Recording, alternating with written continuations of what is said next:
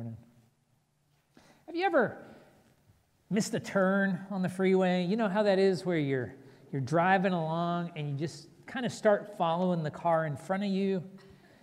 And then suddenly you see that road veering off to the side. And you're like, ah, I should have been in the other lane. You know, and it's, and it's even worse if you don't notice the road, right? Where then you're just driving along and, you, and all of a sudden you're like miles down the road and you realize somehow I have to get back there. I mean, you can just keep driving, and it can be terrible. That happened to us one time going into Chicago. It was, I mean, we were like an hour trying to find our way back. Now, I think something similar can happen to us as believers as we try to navigate moral issues, particularly in regard to our subject today. We're talking about gender and sexuality. Because there's some people that we know, they're just, they're just clearly going away from biblical teaching, right? It's like the other side of the freeway. It's, it's obvious that they're not headed in the same direction. But then there are others who just seem to be in the next lane over. And they seem to be going our way. I mean, they hold, you know, we might call it traditional views or conservative views. And yet, they're not committed to following Jesus or obeying his word. So, if we're not careful, what can happen is we might find ourselves getting into their lane and failing to notice when the way of Christ diverges from their path. Now, that may explain at least one reason why we have such a difficult time speaking the truth in love. Because I think what happens is we assume that the people going the opposite direction are the greatest threat to us and our children and our society. And quite honestly, in some senses, speaking the truth in love, that seems too passive of, of a response. It seems too slow. And so we're tempted to, to shift over to the other lane, even though it might exude disgust, condescension, anger, even hatred, all these things that are not Christ like. And what can happen is that our own self righteousness can blind us from seeing how far we've left the way of Christ. You know, in 2 Corinthians chapter 11, verses 14 to 15, Paul says that Satan disguises himself as an angel of light. He says that his servants present themselves as servants of righteousness, right? Maybe even as apostles. That was happening in Paul's day. And so, all that to say, the most dangerous threat to the cause of Christ is, is probably not those who are obviously wrong. We see the error there. But it's those who appear to be on our side, who seem to be heading our way, because their influence has the most potential to, to skew our understanding and then to end up distorting our character and to damage our witness without us even realizing it. So be careful. Be careful who you listen to. Be careful who you promote online. Don't just share a quote from somebody just because it sounds right. I mean, the most influential voices in our lives should be this is a, the whole point of, of how the church is supposed to work in the Bible. The most influential people should be people that you know personally, people that you know are humble, are teachable, who know the scripture well, who are growing in Christ likeness, who are seeking to walk in the fruit of the Spirit. And then the other part of that is you need to know God's word for yourself. And that's what this series is all about, right? That, that we would exercise discernment, applying the word of God to the, the, the issues of life and so, as we come to this issue of gender and sexuality, to speak the truth and love about it, let me suggest four biblical landmarks to guide our way. And the first landmark, as I'm calling it, is simply this it's that God designed gender and sexuality. Back when I was in elementary school, you, you know, my teachers just loved doing art projects, and particularly like with clay. And, you know, I mean, those were the sorts of things that only a mother could love because they were not pretty, right? They were not useful. And of course, no one expected them to be. I mean, we, we, none of us had the skill or creativity of some master potter or craftsman. We were just playing around and learning. And if we made something ugly, no one really cared because you could throw it out and start over. But you know, the crazy thing is, some people think that we should approach gender and sexuality like one of those elementary school art projects. They argue that from childhood, people should just have the freedom to shape their lives however they want. Now, we don't do that with other aspects of life, right? We don't throw kids the car keys in elementary school and say, hey, go figure out how to drive and you know, do it however feels right to you. I mean, there's far too much at stake to do that. And so that's why that we have to say the first landmark to guide our thinking about gender and sexuality is that God's our creator. He's the potter. We're the clay. And he has a wise and perfect design. And it's revealed to us in the first two chapters of the book of Genesis. Genesis, we talked about Genesis 1:26 last time. Genesis 1:27 tells us this. It says, So God created man in his own image. In the image of God, he created him, male and female, he created them. So, since we're created in the image of God, that gives us dignity and worth. We're set apart from all the other creatures. God designed us as, as human beings to reflect what He's like. And to accomplish that, He made two genders, male and female. And you might think, well, of course He did. It was a biological necessity. But I mean, He's God, you know? I mean, He could have formed some other plan for reproduction. I don't know. And yet, He chose to create a man and a woman. That's how God did it. And so verse 28 continues and, and tells us God blessed them, and God said to them, Be fruitful and multiply and fill the earth and subdue it and have dominion over the fish of the sea and over the birds of the heavens and over every living thing that moves on the earth. Now, skipping down, the second chapter of Genesis provides more details, I think, about what happened on that sixth day of creation. In fact, some New Testament passages, Ephesians, 5, 1 Timothy 2, they draw upon this chapter, Genesis 2, to explain God's design for gender roles in marriage and even in the church. And so, jumping down, Genesis 2, verses 7 and 8, they tell us this. It says, Then the Lord God formed the man of dust from the ground and breathed into his nostrils the breath of life and the man became a living creature. And the Lord God planted a garden in Eden in the east, and there he put the man whom he had formed.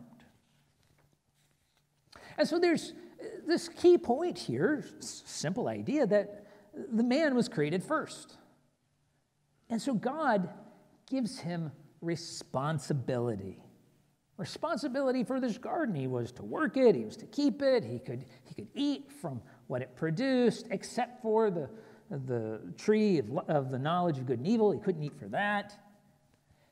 And so, part of what is, is being set up here is that later he would need to take the lead in keeping that prohibition, obeying the Lord, and in communicating God's uh, command to his wife. And so, that's a key idea. Biblical manhood is all about responsibility. Now, God also charges the man with naming all the animals. And the whole point of it is to show him that none of them are like him. We skip down to verses 20 through 25, and it says, The man gave names to all livestock and to the birds of the heavens and to every beast of the field. But for Adam, there was not found a helper fit for him. And so it says, The Lord God caused a deep sleep to fall upon the man, and while he slept, took one of his ribs and closed up its place with flesh. And the rib that the Lord God had taken from the man, he made into a woman and brought her to the man.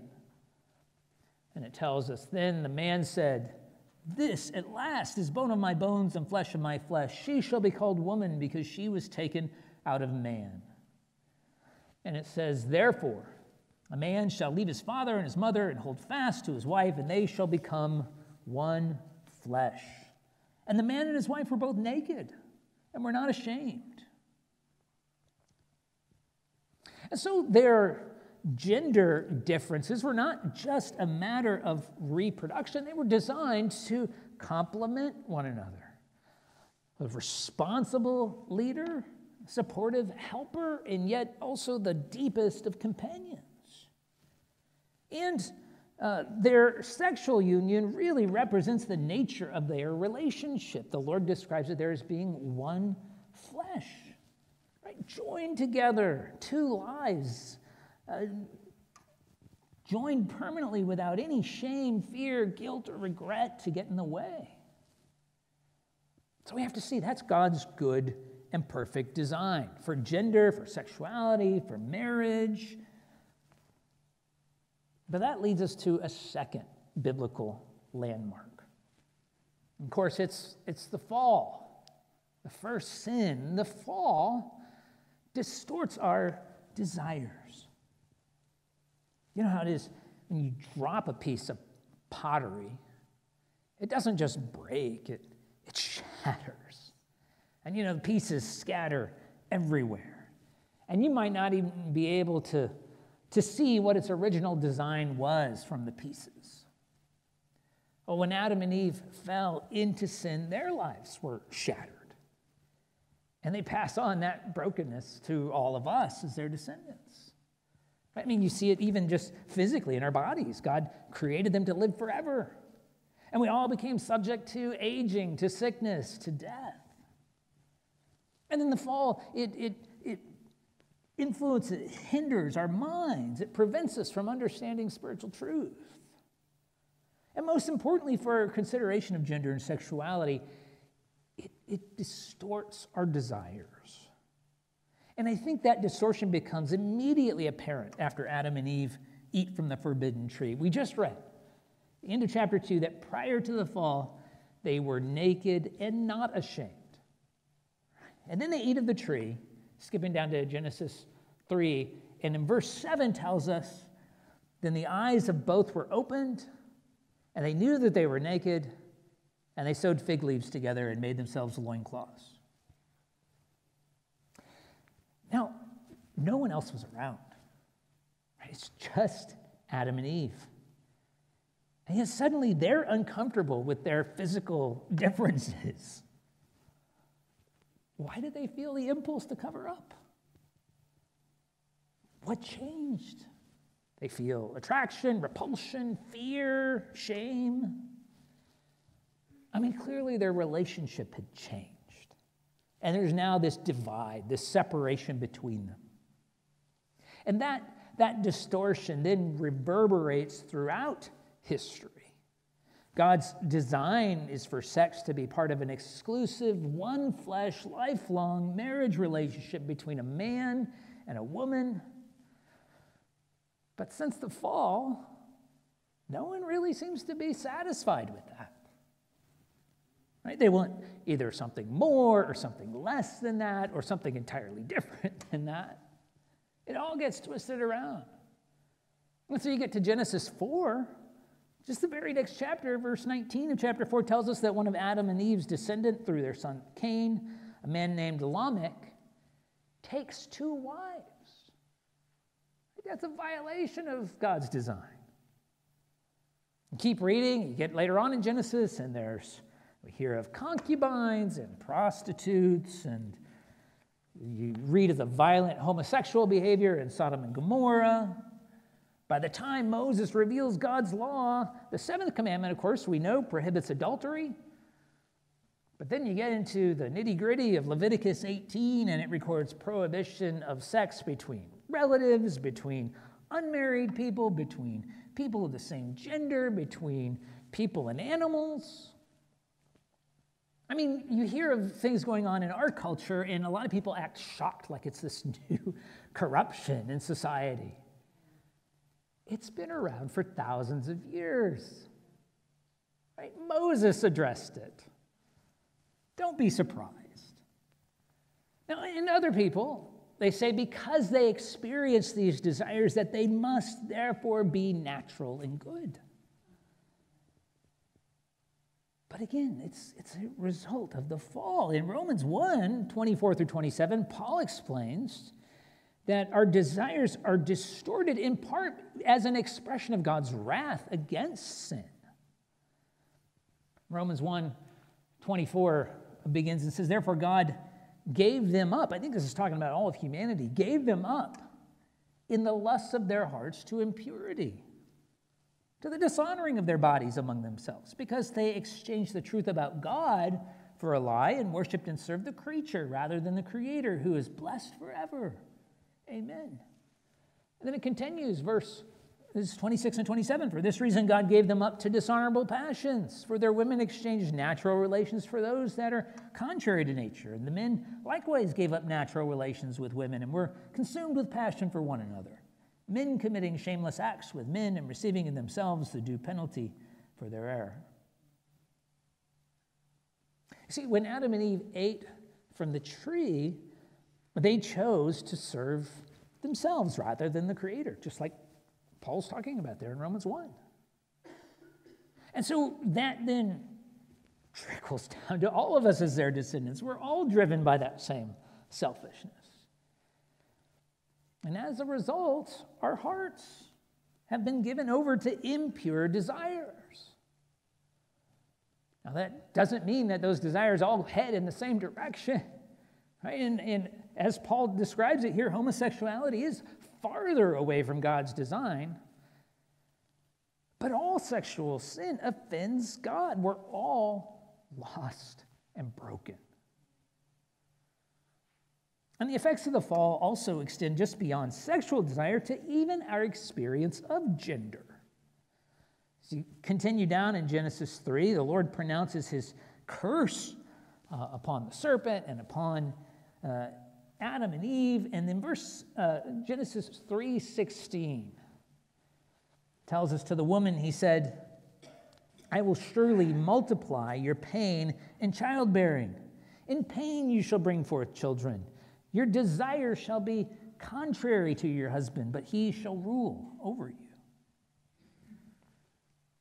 I mean, it's hard to know was there some change in the woman's anatomy here? We don't know, but obviously the fear of this of pain would certainly not help her sexual relationship or her feelings about being a woman. And the fall would lead to this conflict between male and female with her husband. I mean, earlier on in Genesis 1, the word rule is used positively, but that's over animals and creatures. Here, it seems to have a negative connotation. And certainly, we see the results of that in society, right? I mean, even the Bible itself. Judges chapter 5, for instance, tells us how the Lord raised up Deborah to serve as the judge over Israel because really no man was willing to lead. Or on the other hand, men can be domineering and harsh, like the Persian king Ahasuerus in the book of Esther, right? Who wants to, who ends up banishing his wife Vashti because she, she won't come out and show off her beauty, whatever that meant in that culture, to his group of drunken men. Now, to complicate matters, every culture develops its own stereotypes of what it means to be male and female. Right? And, and, and those ideas vary from time to time and place to place. People identify certain clothing or interests or activities um, as either male or female.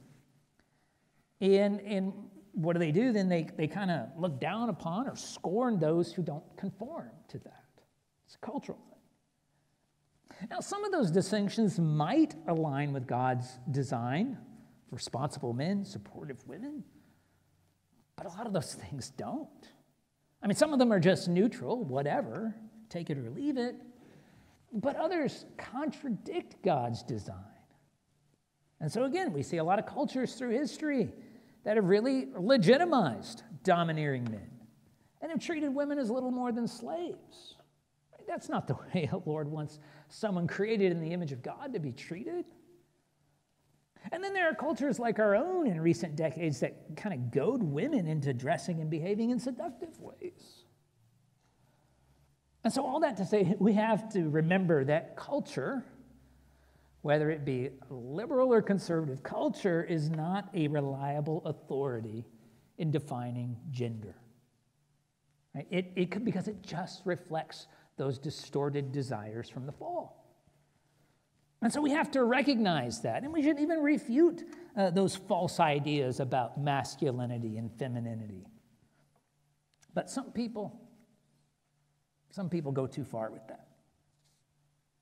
They, they want to rebel against it by changing their gender identity. And the medical procedures for, for doing that sort of thing may be new, but, but the desire behind it, it's not. It goes back to the fall. Even back in Deuteronomy 22:5, God uh, addresses that desire somewhat in his, his law. It says, A woman shall not wear a man's garment, nor shall a man put on a woman's cloak, for whoever does these things is an abomination to the Lord your God. Now, you know what's funny about that is I doubt that any of us would be able to tell the difference between a 3,400 year old man's garment and, and a woman's cloak we, we wouldn't know the difference, right? It's, it was a cultural standard of that place and time. And we find something similar even in the New Testament. 1 Corinthians 11, Paul argues that women should wear head coverings, right? Again, because that was a cultural thing at the time. And so the issue, I think we have to say, is not the clothing per se, but the person's desire to escape their God given gender I think that's just one more example of how the fall has distorted our desires. So, what hope is there? Well, we find it in the next landmark. It's, it's just this that Jesus saves sinners. There's a Japanese art form called kintsugi. I don't know if I'm saying that correctly, but uh, it works with broken pottery. And the, the shattered pieces are not just simply glued together, the cracks are filled with gold. And so the beauty and value comes from the repairs. That's what Jesus does for, with us. Every broken person who comes to him. We're, we're all shattered by the fall. And he takes, takes those pieces and he cleans them off and puts us back together to display the beauty of God's saving grace. It, it doesn't matter how distorted our desires have been and led us away from God's design, even with gender and sexuality. Jesus saves sinners. Paul emphasized that truth to the Corinthians. Now, first century Corinth was, uh, had a reputation for sexual immorality in the city. I mean, it was a, it was a major seaport, and, and it's kind of like all major seaports, it caters to vice. But there were also uh, a lot of temples that included cultic prostitution in their worship of the Greco Roman deities. And so, as Paul writes to Christians in Corinth, he really takes, makes an effort to be clear of first both the sinfulness of sexual immorality, but at the same time, the power of salvation. Take a look at 1 Corinthians 6, verses 9 through 11. Paul says, Or do you not know that the unrighteous will not inherit the kingdom of God? Do not be deceived. Neither the sexually immoral, nor idolaters, nor adulterers, nor men who practice homosexuality, nor thieves, nor the greedy, nor drunkards, nor revilers, nor swindlers will inherit the kingdom of God. And I love verse 11. He says, And such were some of you, but you were washed, you were sanctified, you were justified in the name of the Lord Jesus Christ and by the Spirit of our God. We have to remember the consequences are the same for every sin adulterer or homosexual, thief, drunkard, reviler, which just means hating people, right? Our sins disqualify us from eternal life in Christ's kingdom. Whatever those sins are, they all deserve eternal punishment. And yet, whatever your besetting sin may be, you can be saved through faith in Christ. And, and there were people from all of those backgrounds there in the church in Corinth, just as there are in every church. We're all sinners saved by grace. And so Paul describes salvation here in, in three ways. First, salvation is, is washing, he calls it. This is really one of the only places, there's only one other place in Scripture where that term is used.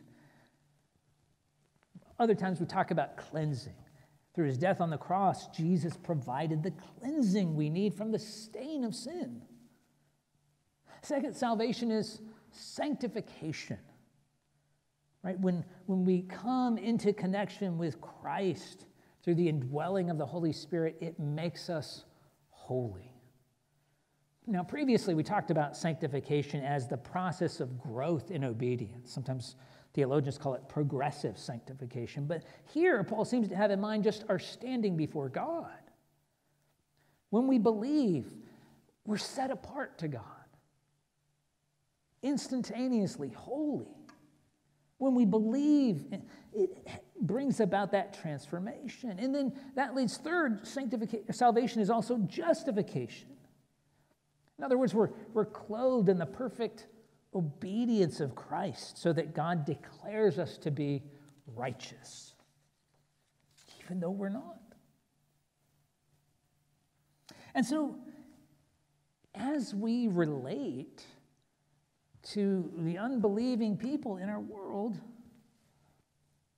we have to remember they're all sinners in need of salvation, just like you and just like me.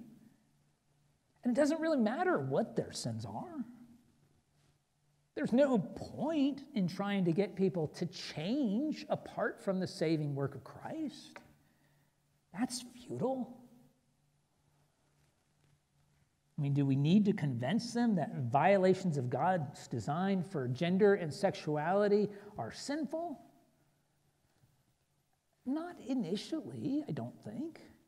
Because on one hand, and they probably have plenty of other sins that it might be uh, more willing to admit initially.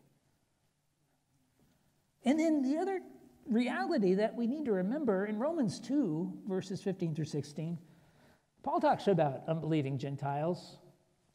And he says this They show that the work of the law is written on their hearts while their conscience also bears witness, and their conflicting thoughts accuse or even excuse them on that day, when according to my gospel, God judges the secrets of men by Christ Jesus.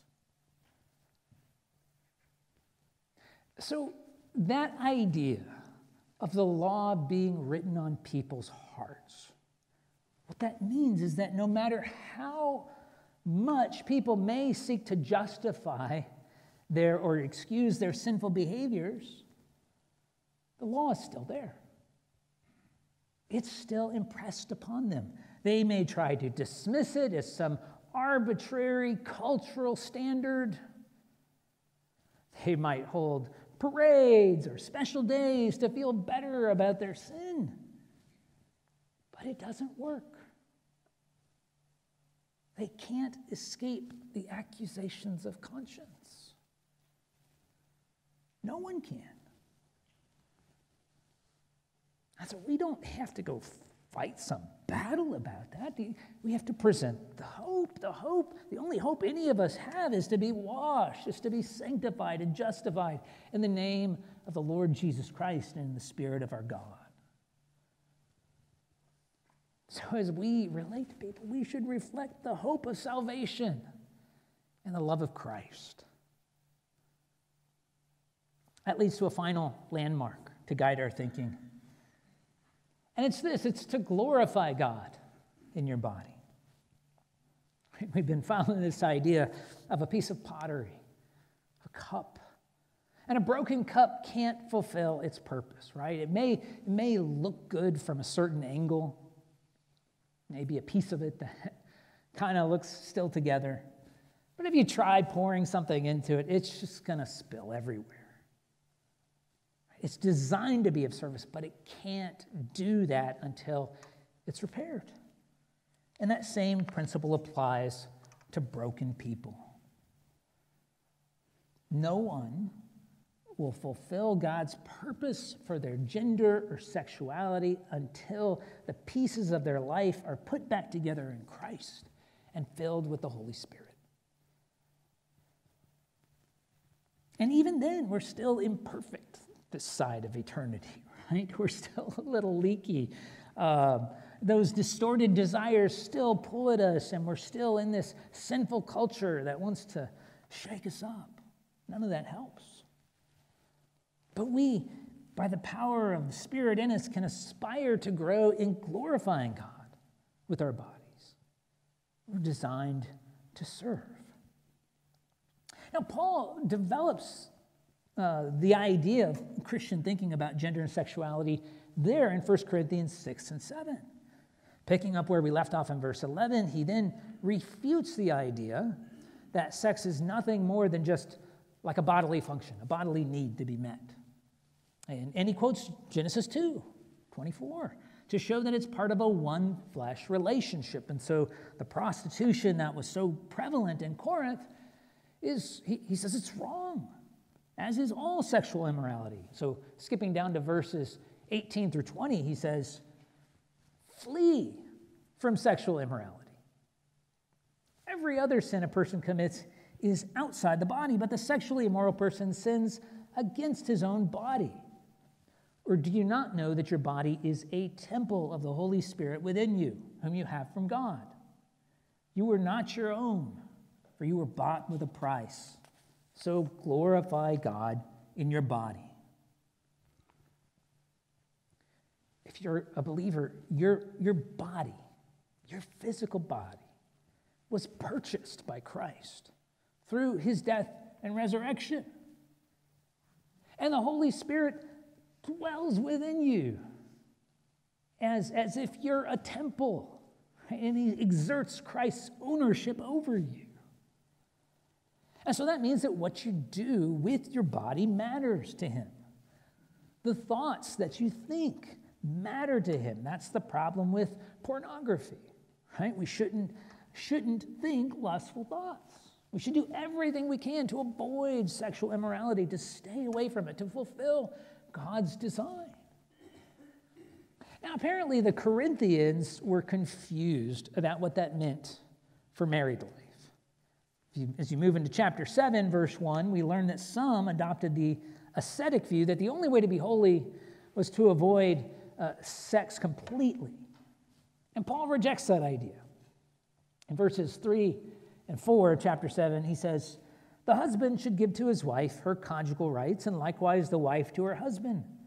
For the wife does not have authority over her own body, but the husband does. Likewise, the husband does not have authority over his own body, but the wife does. You see, here's something that I think gets lost with our distorted desires, sex becomes all about getting, about personal satisfaction. And so people give up on marriage, claiming that their needs were not being met. But Paul describes sex here from the standpoint of serving one another. That husbands must serve their wives, think about them first before themselves. That wives must serve their husbands. Right? And, and it's not even a, a meeting in the middle, it's, it's 100% service. Right? Concern to help each other resist sexual temptation, to follow God's design. Now, that same focus on service also shapes the way that husband and wife fulfill their distinctive gender roles. We won't turn there right now, but in Ephesians chapter 5, uh, I think a familiar passage to many of us, Paul calls husbands to love their wives as Christ loved the church and gave himself up for her. Right? In the same passage, wives are called to submit to their husbands, to be respectful. But again, that kind of supportive role, yes, it can be abused. We talked about that. The culture does that. But when a man truly lives in a Christ like way, it's, it's that submission is not a burdensome thing. Right? When he's living in loving, sacrificial service, and that, so that's part of our how we relate, and it plays into sexuality as well. Of course, now the difficulties arise, right? When one person seeks to serve and their spouse doesn't. I mean, in those times, again, we have to remember marriage is not about meeting in the middle. It's about obeying and serving the Lord. And that's particularly important if one person is somehow trying to lead the other into sin. I mean, obedience to the Lord always has to be first, just like we talked about with government. And Peter talks about that in 1 Peter 3. It's about a, a wife with a disobedient husband. Right? There's a, a place to communicate concern, but not to nag. Peter talks about praying, trusting the Lord and following God's design by the power of the Holy Spirit. Now, a lot more could be said about marital issues. I realize I'm just kind of not even scratching the surface there. But what about what about believers who just feel no attraction to the opposite sex or those who are who are tempted by same-sex attraction? Salvation doesn't take away those distorted desires. What about people who, don't, who just don't want to get married? Should they pursue biblical marriage anyway, since it was God's original design? No. Paul talks about it. If we keep reading in 1 Corinthians 7, verses 6 through 9, he says, Now, as a concession, not a command, I say this I wish that all were as I myself am but each has his own gift from God, one of one kind and one of another. To the unmarried and widows, I say that it's good for them to remain single as I am. But if they cannot exercise self control, they should marry, for it's better to marry than to burn with passion. See, I think sometimes as, as Christians, we can place so much emphasis on marriage and family that singles feel pressured. Like They have to get married. Or they feel excluded from fellowship. Because everybody's always talking about marriage and kids. But Paul encouraged singleness in the service of Christ. So did Jesus. Paul saw it as a gift from God. Now, some people say that means uh, an ability to be content with singleness, but I, I, think in the context of the chapter, I think this points that marriage and singleness are both, uh, both have their good points. Because right? further down in the chapter, he goes on to explain that the single person can be undistracted in serving the Lord, while the married person has to, uh, has to make time and think about their spouse, right? what their spouse desires, what their spouse wants. And of course, Paul acknowledges here being single is not easy because According to God's design, remaining single means abstaining from sexual activity. So he says that it's, for some, it is best to pursue marriage and not stay single. But whether married or single, the goal of every believer, we come back to this. Paul said it there at the end of chapter 6 it's to glorify God in our bodies, to avoid sexual immorality. Those who are married, should serve the Lord by serving one another, and singles should focus have that exclusive focus on serving the Lord. So, as you navigate all the cultural confusion surrounding gender and sexuality, follow these four landmarks. God designed, excuse me, gender and sexuality. But the fall distorts our desires. excuse me. Thankfully, Jesus saves sinners. And despite our brokenness, we can grow in glorifying the Lord with our bodies. So, what's your response to these passages of Scripture that we've read? Like we said, we've all been stained by sin. But no matter what sinful deeds you've committed, Jesus is ready to save you. He died and rose again to wash us, to sanctify us, to justify us. And so, if, I, if you've never done so, I encourage you to seek cleansing in Christ, to place your faith in Him, to entrust your life to Him. Because His saving grace is what makes broken lives beautiful.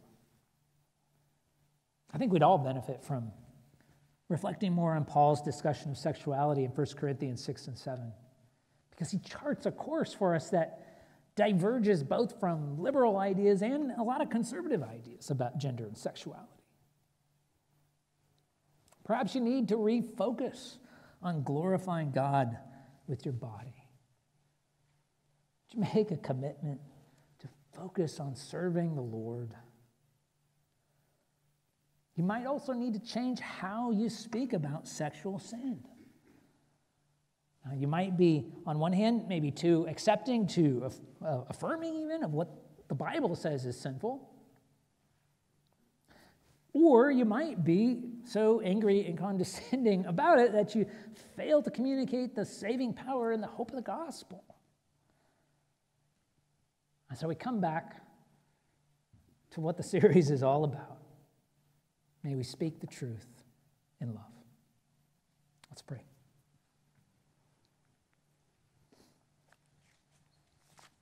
Father, we, um,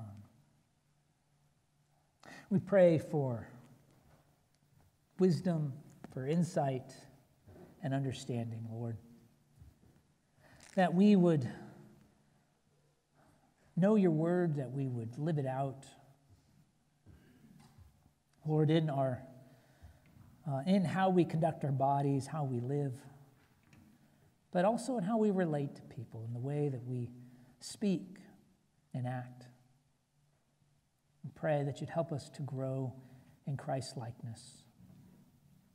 And Father, we thank you for the incredible blessing of salvation that we can be forgiven and reconciled to you. Lord, we praise you today for your saving grace. In Jesus' name.